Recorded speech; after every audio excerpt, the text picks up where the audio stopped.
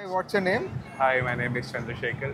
Your name is Chandrasekhar, and uh, I'll ask you four questions. For every correct answer, you'll get a chocolate. So, first one applying sunscreen will prevent the absorption of vitamin D. Is it true or false? Uh, false. It's false, that's wrong. It's true actually. Applying sunscreen will prevent the absorption of vitamin D. And which geometrical figure shape is the football field? Do you want the options or do you know? I guess it's rectangle. Rectangle will give you a chocolate, that's correct. And which light from your smartphone negatively affects your sleep? Do you want the options? The blue light. Blue light is correct, another chocolate for you. And the last question What is the national sport of India? Uh, kabaddi. No. I'll give you options hockey, cricket, kabaddi, and none. Uh, hockey.